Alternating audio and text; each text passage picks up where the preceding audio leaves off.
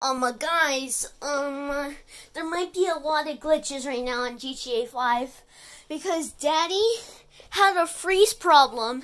It booted out. It was like it was like when he went to the spectator booth, he was stuck, and I had to restart the application. So, guys, if you ever have any of these issues, restart the application. So I'm gonna stop.